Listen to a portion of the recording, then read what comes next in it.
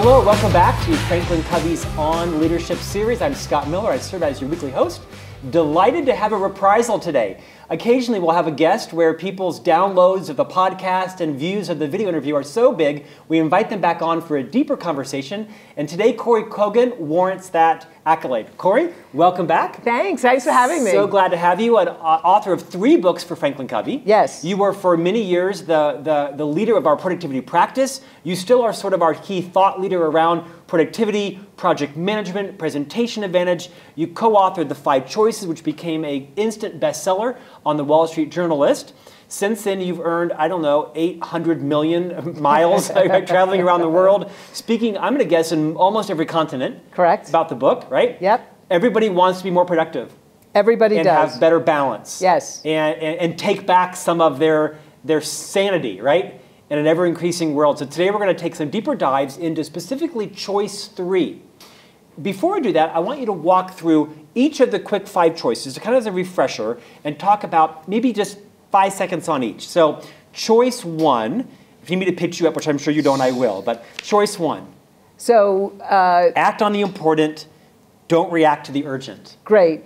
Choice one uh, is really about the intentional discerning of everything that's incoming through the methodology of the time matrix. So, really thinking about the matrix of important or the confluence of important and urgent and putting it together and really as things are coming in, discerning very intentionally if it's important and needs to be done now, if it's important but just a distraction, if it's just uh, excessive use and a waste of time, or is it really important, not urgent? These are the really important things I need to do. And then how do I minimize or eliminate some of the other things that are incoming in order to make sure I get these things done well to feel accomplished at the end of the day? You should speak publicly because you've got the content down. Thank you. You know, just this week I had Leena Rinne, your co-author, as yes. a guest on the radio program I host on iHeartRadio, Great Life, Great Career. We had a whole discussion around our urgency addiction. And, and you talk a lot about how it's a leadership competency to protect your team from that urgent addiction. Um, riff on that for a bit. Uh, I just went through this yesterday with a senior leader where they work constantly and even you know talked about the fact that they don't have time to eat and the only hmm. food they got was three different cookies that were set in three different meetings during the day okay. and a bottle of water and her entire team is seeing that as a model and so if the leader is doing that and the team is watching that then you are creating that culture of extreme busyness and urgency, which is a terrible thing in this day and age to get anything done or even to be able to think to even be able to innovate or just execute on anything. I'm seeing an interview with you back on choice one, okay? So yes. stand by. Let's talk about choice two. Go for extraordinary, don't settle for ordinary. So choice one and choice two really comprise the competencies or skill, uh, skills of decision management. So if we're able to filter all the incoming that comes in through the time matrix, choice two is about stopping and thinking about and actually diagramming your most important roles in life that are both functional and emotional, just the few, there's a lot of them, but the few that you then really decide who am I in that role and what does accomplishment look like? And then every decision that you are making through the day is benchmarked against am I doing what I need to do to really fulfill that role, to be extraordinary, to feel accomplished in that role every single day? Your brain requires that kind of target in order to be able to measure things and make that decision. So, go for extraordinary is really those few roles and what does success look like in those roles, and then all day long thinking about, hmm, am I making the right decisions right. to get there? Right. As the lead author of this book, you have kind of redefined the notion, the practice that it's no longer about time management. It's really about these things you call decision management, attention management, and energy management. That's had a profound impact on me because, as I know as an officer in the firm, one of the CEO's biggest um, levels of concern is what are we all choosing, deciding to spend our time on because we have complete autonomy. Right. And we have to be very deliberate now, not just managing our schedule, but managing our decisions. Do I go to Taipei or do I, you know, go to Paris? Do I stay home and run this product launch or do I, you know, go give a keynote speech? What's the highest return for our clients and for our firm? Uh, yes, and uh, myself too. and, you know, I uh, think you know this, but I consider myself a laboratory rat. I'm not like, oh, I'm perfect at productivity. This is a work in progress. Every I call you single a bunny because you're hard on the outside, but you're sweet on the inside. There's no rat about you. Well, You're it's sweet. just, I mean, that's what you think of it. I'm on my own experiment Yeah, with this. I'm always thinking about it because um, I- I'm not perfect. And it's hard work to be um, productive. And to your point, you very intentionally, based on these roles, need to be able to think about should I be saying no to something? And even this morning, you know, I got up early, do some work before coming and, and, and meeting with you. And I looked at a few things and I seriously thought to myself, should I be saying no to those things? Because to fulfill who I need to be in my multiple roles at Franklin Covey and prioritizing things, I had to, I had to have an honest conversation with myself. Should I do that trip? Should I be doing Yeah, that sure, thing? sure. Or based on what I know and the quality of what I need to produce, based on the president and the CEO asking me to get things done, am I doing the right things? Because you can But get c- caught up in doing But everything. Kory, how could you say no to this? I mean, I would never say no to you. Exactly. Let's skip choice three because we're going to come back to that as our in-depth uh, topic today. Four is rule your technology, don't let it rule you. So, uh, two things. One, first thing is breaking the um, technology addiction, or at least coming to terms with it. We're not bad people. We just, our brains are so wired up. For, well, the brain has two organizing principles. It avoids threat and it looks for reward, um, and it will not do anything else if you know if it's not satisfying those two things. So when your cell phone is over there, even if it's turned off, when it buzzes, your mind is going, "Oh, unknown. Hmm, I got to figure that out. And at the same time, it's going, Or oh, someone wow, wants me." somebody needs Right, me. yeah, right. So it's this terrible combination of threat and reward together that so hooks us into our technology. So the first thing is, particularly knowing the time matrix, how do I start to think about my cell phone, am I going into a wasteful quadrant by picking it up, or is this the right time to be able to do it? So breaking the addiction is one, and the other piece is taking all of our stuff, our tasks, our, our appointments, our contacts, our notes, identifying where does our stuff go, where is it? Is it in technology? Is it in What's a our system? planner? What's Yeah. our system? And then hooking that together with whatever email systems that we're using um, to really create what I call uh, an engine of productivity, Yeah, which is sort of cool. That scares some people. I've had some people go, wait, what? What do you mean? What do you mean engine of productivity? I was with a client, they're like, like wait, wait. And, and I'm like, I oh, want one of oh yeah, I want one of those. Yeah, with, you know, it's the best kept secret. There's some things that we can do Yeah. with Outlook that, and once you know these principles, just turn a few things on, understand a few things, and you will welcome emails coming in because you won't be able to live without I will definitely have you back on that topic. Okay. Let's close out quickly with five, and then we'll go deep into three. Okay. Five, fuel your fire. Don't burn out. Don't just eat three cookies across three meetings, right? Don't just eat three cookies about three meetings. Here's the news. We are knowledge workers today, not industrial age workers for the most part. We're not in factories and mindlessly doing widgets, which takes skill of your uh, hands and your back. We are knowledge workers that are paid to think, to innovate, to create, to execute. And so it's about optimizing mental labor. And so the optimization is the head and the heart, to be honest with you again, without going into all of it, there's the, the brain, which is your main engine during the day, requires an enormous amount of oxygen and the right nutrients. And so, if you are in a position as a leader uh, or an, an emerging leader where you need to make these high value decisions all day long, Right. you need to stay focused when we know it's hard to not be distracted, then you better be eating right, sleeping right, watching your stress levels, um, um, Exercising. and exercise, moving, moving, yeah. moving, Right. and is it's not just exercise; it's moving, um, and connecting with other human beings. Um, besides just by text. So we call them the five energy drivers that you really need to assess because you hear it all the time from your parents. Oh, you need to do all those things. But understanding the why behind that, you have got to give yourselves what you need for your brain to make those decisions, not only at work, but the minute you show up at home and the door opens and your spouse or partner is standing there waiting, like, hi, honey, waiting for you to be present, Yeah. and you're so completely out of it because you have nothing left. Yeah. So, Have you been sitting behind our front door watching my evenings? Let's talk five. about five. Or Okay, talk about three. three. So choice three in the middle is schedule the big rocks, don't sort gravel.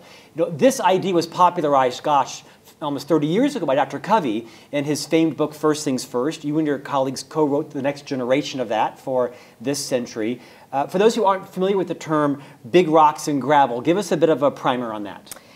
So big rocks represents um, the most important things that we need to do, and the gravel is the noise. Um, or in some cases, some people uh, will call it the whirlwind. You know, it's just the day-to-day stuff. But gravel is a noise. Big rocks are the most important things you can do. And when you get that metaphor into your head, and then we start to talk about planning, we need to make sure and, and have this really burned into our heads that each week or every day we are, in addition to all the craziness, getting through the one or two, or accomplishing the one or two big rocks that really are important to fulfilling those roles that I mentioned before. You're not disregarding the gravel. No. Because the gravel is part of life. It's part of life. Got to answer emails, got to, uh, you know, people walk into the office and stuff like that. There's ways to minimize a lot of the gravel. That again goes back to the conversation in choice one around minimizing the noise from choice one, three, and four. But quadrant two is really where Big Rocks lives. And so no matter what happens, I'm going to get a big rock done. And to be honest with you, Scott, sometimes, and I've said this before, in the course of the day, that good big rock could be one good, high quality email that I knew I needed to get out mm. with thought, right? It's not, uh, uh, but it was an email that had yeah. to be well yeah. thought out. That was really important. I'm like, phew. I have one of those today. Done. There you go. It's, it's, actually it's sort of um, profound that you're saying that because I have a lot I'm doing today, but I have one enormously important email that has to be reviewed by our counsel and, be, and go to someone. And I could see that being delayed with consequences. because My day's already been booked, and that was inserted with the discussion yesterday. So it's interesting you say that. I don't know that I've scheduled that as a big rock on my calendar today. I know it is, but like all things, if it's just up here, it can easily get pushed. It, it'll get pushed, and here's the other thing about that you, when you go to do it, and not that you don't do fine work, when you go to do it, you're going to be doing it with a little too much urgency attached to yeah. it. Or now that I procrastinated, I have to change the energy put into it, or and you and, and because or, you don't, you're not giving yourself breathing space. It's no matter how good you are, it's not going to be your best work. To be honest with you, yeah. because you need some space to let it cook for a minute um, and, and, and get rid of some of that urgency. So you got to give yourself a little space. So at least even get, even if it's in the day, getting it in the calendar, I would, I would add 10 minutes to it just to give yourself some breathing space. But of course, a big rock could be a little further out so that you, you know, are not on top of it like that. Any insight you would give after, you know, literally speaking on this topic for hundreds of times. Yes. How do people define what's a big rock to them? Is it connected to your roles, relationships? Do they change each day, each week? Uh, maybe for those who don't have the context you or I have, give us some insights on how does someone pick what's a big rock versus gravel? Okay, it's, it's, a, it's, a, great, it's a great question. And sometimes people will say to me, well, I have to do my laundry. You know, that's not a big rock. Well, you know what? If you don't have any, it might clean, be coming home from a trip with five kids, or that, or if you don't have any, there's no clean laundry, there's no clean underwear in the drawer. Uh, you know, it's pretty important. Yeah. So, so you know, it's it's not oh, big rocks is the high and mighty things. Yeah. It's based on your life. Right. And it's a great question because again, in choice two my roles, my roles as a mother, my roles as a vice president, my role, you know, as a father, whatever it might be, generally drive those big rocks. So my father is in New York. He's not, it's, and it's such, it's, it's current. It's not, oh, these are the roles and they're going to be on the shelf now for the next 40 years of my life. They're today's roles.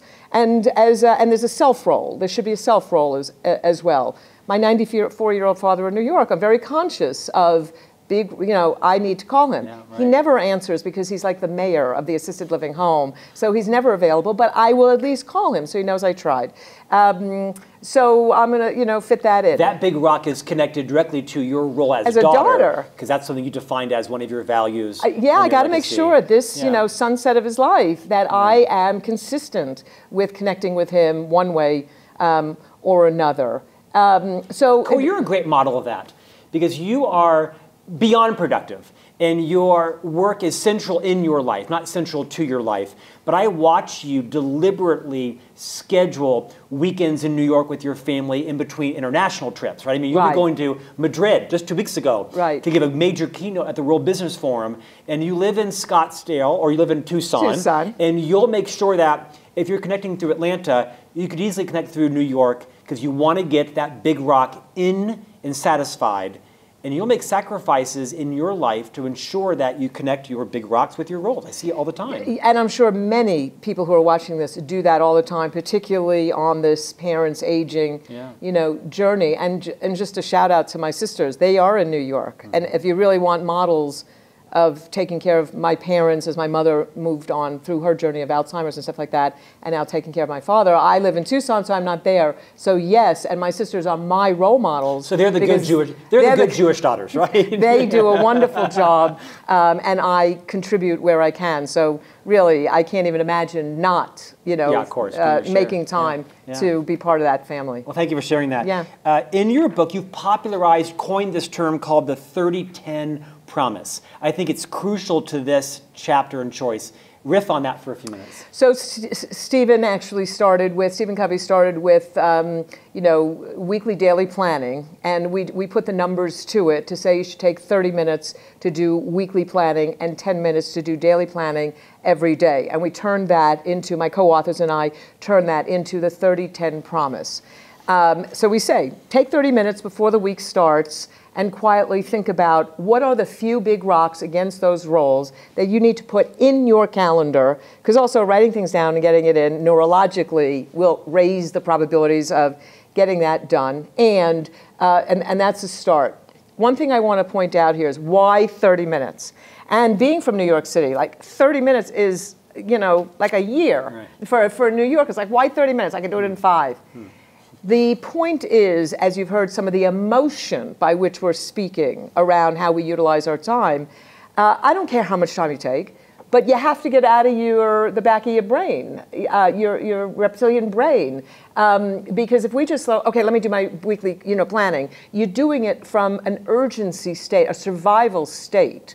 So we say, take some time, get into the prefrontal cortex, and just take a few minutes, think about my roles and other things because it might be I got to do the laundry this week. I can't, you know, and think about what are the few big rocks that need to get done and plan them. So if that takes you 20 minutes, fine. For some people, they spend an hour uh, doing it. It's the principle behind the 30-10 promise that we are talking about um, here. That you're doing it intellectually. Uh, with some heart, not just from a survival point of view. So that's weekly planning to get a few big rocks in your calendar. And then we say 10 minutes at the end of every day. Some people like doing planning in the morning. I have chosen not to uh, because the imminency of the day is upon us. And anybody who's dealing with Almost young as soon kids. as you wake up, right, uh, yeah. Right, and people are picking up Right. their phones. You go urgent almost immediately. At the end of the day, you know, between if you can, between work and home, is a great time to just, okay, let me just clean up the mess from the day, you know, and mark things complete. Do you ever mark things? You like marking things complete? Who doesn't? So the, this the is satisfaction that comes from that is immeasurable. it is immeasurable, and I'll tell you what that is. When you mark, that, you go. Yes. It's a dopamine hit. It's your, you know, it goes right to the reward center of success. And here's something I see commonly around the world. Let's see if this works for you. Did you ever do this where you know you have a legal pad and you know you started your day and you have your list of things you're going to do, and then you go and you do your stuff, and then you come back to your office and you've done something that wasn't on your list. Yeah. See, I can already tell on your face. Yeah, right. And when nobody's looking, you write it on the list just to be able to cross it out. How am I doing? Is that bad? it's not bad. It's fun to think about. But um, what you're doing there is you are manufacturing or ensuring yourself that you are accomplishing things. It's like Yeah. you don't want to miss it. But the problem is when you're doing that and you think about the quadrants, it's a quadrant three or four activity that you're doing because it's sort of useless. But it makes you feel good. The point with that is when you do weekly daily planning, you are much more in control of here's the things that I'm going to get done that are really, really important. Here's my list of things that will get done. So you will be marking things complete more often Yeah. when it's more controlled, and only once in a while will you feel the need to like, oh, I did that, let me cross it off. Kory, you're around the world every month, speaking somewhere, consulting with clients, executive level, Yeah. and just you know frontline workers sometimes. Yeah. What what do you find is happening between the nexus of sort of paper and and technology? Are, are, are, most people still writing their schedule out and printing it off? Are they using it in Outlook? I mean, do you have any insights for all of us who are probably on some sort of digital software that's managing our schedule and appointments? and also are taking task lists, perhaps either on paper or on our phone. Any insight you might give us as everybody's probably going back and forth between some kind of paper? Everyone's still using paper for something, not everyone, but most people. Any insights you might give us on balancing and integrating those two things together? Yes. First of all, uh, so people will say, you know, not, not every single person in the world knows who Franklin Covey is, or they have an idea. Shameful. And right, and they'll say, oh, oh, oh, yeah, I had a planner Yeah, in yeah. college, you know, and I, 40 million people had a planner. well, point, and my, my point is, and you'll hear your boss say this also, and I love this, that planner, and we've since sold off that Right, company. They right. do quite a few number of millions of dollars in business still in paper uh, planner business. Um, that tool, the planner, actually was one of the world's most important and well-served leadership development tools in the world. Mm-hmm. It gave people a place where they could be credible, where they can start documenting things. They had, yeah. and even people when when their teams saw them coming with their planner, saw me coming. I was part of that. They're like, okay, this leader has their act together, Mm-hmm. and it all it helped model great follow up um, and accountability. So it's one of the top accountability tools in the world to start us off. So I just want to put that out there and gave us the platform to be able to spin off into the worldwide company we are today around leadership development and performance improvement. Having said that, today, what I'll find is two types of people. I will find people who are almost apologetic that they're using paper, and they'll go, Yeah, I, I use a planner. And they're like, and, and you'll find others like, Yeah, I still use planner, I love paper, and there it is. There's nothing to be apologetic about. It, whatever, whatever suits you, as long as you have a system where you know where your tasks are, you know where your appointments are. The principle we call it the principle of one. Mm-hmm. I have one place for my tasks. I have one place for my calendar. I have one place for my ancillary notes, and I know, and I have one place for my files and you know documents and Repeat stuff like that that. because I think that is excellent advice. It's okay to have them in different places as long as you only have each in one place. Repeat those four things. Well, again. and digitally, you can. So, so if you're, that was the beauty of the planner is you had your tasks in one place, you had your calendar, everything was in one place, you had notes there, Right. and then your files. You know, you have your file drawer, et cetera, or you know, document your, your notes. So the principle of one. You, you can't have three task lists because Right, you'll miss or right. calendars. One in your phone, one in Outlook, and one on because you're going to miss something, or you're going to miss an appointment. So the principle of one says the core four, your, your, your stuff, if you had a pile on your desk, it can only be one of four things. It can only be a task, a, a, uh, an appointment, a contact, or a note. Okay. Where's your stuff? Yeah. Is it in Outlook? Is it in, in a planner? Where's your stuff? Because if you have it in Outlook, make sure that your task list syncs. So whenever you go to your task list, you're seeing one task list. see, yeah. That's what the same thing with your calendar and with Exchange and you know those kinds of things. Make sure it syncs. If you're using paper, just don't put it on three pieces of paper. Use one place for it. Um, and if it's a combination, fine. Just more make sure your paper and your digital is syncing, and then re-download your task list once you've uploaded. It's a little extra work, but Right. some people like to do that. Right. So you got to create your own system, and that a lot of that is done in Choice Four. Yeah, great advice. Final minutes. As you're teaching Choice 3, what do people struggle with the most? And, the principles and the concepts that when they when they master them, it kind of vaults them into a new level of, of prioritization and, and, and decision management, attention management. I think creating the habit. Um, I have been amazed how many senior leaders and mid level leaders will go, oh my goodness, the, the 30 10 promise, or I like to call it a rule, because I think it should be a rule, um, really has made a difference for me. And you think, these are very intelligent people. You know, and I always, when I talk to these people, I'm always careful because, of course, they have planning systems, and you know, it's like, oh, you, we should learn how to do planning. Of course, they didn't get to they didn't get to where they are not having planning systems. But the rigor of it really seems to affect them. And so, so with that, that inspires me to say that the one thing you have to be careful of is don't just start it and then let it die. Work it again with the brain. You got to practice. You got to do some things a number of times, and eventually it'll become an unconscious yeah. routine. Right. So the biggest thing is stick with it for a while until it just becomes routine, or it'll die. And then you go, oh well, that didn't work. I'll try something else. Makes sense. The book, best-selling book, based on a two-day work session or a one-day work session by the same name, you have deputized hundreds of consultants around the world yep. to teach these back in organizations as a, um, as a leader in our company, you've also made sure that the Five Choices content is in our All Access Pass. Mm-hmm. People have access to all the rich videos, tools, exercises. The book is full of great stories as well. Yes. It's the reason why it became a bestseller. And people can hire you also to keynote speak. You spend too much of your time probably that was some. That was some of the conversation I was having with myself this morning. Oh, was it? Just yeah. on getting some work done versus some of the, the keynotes and stuff. But it's it really there's nothing more important to being out with the real people. So it really that's that's the conversation. Is uh, I learned like so me. much. Yeah. I, I love being here with you. But I love being out with the real people yeah. who are doing the real work out there because that's where I learn in order to continue to generate some of the thinking for our work here at Franklin Well, it's Covey. working. I hope you'll come back.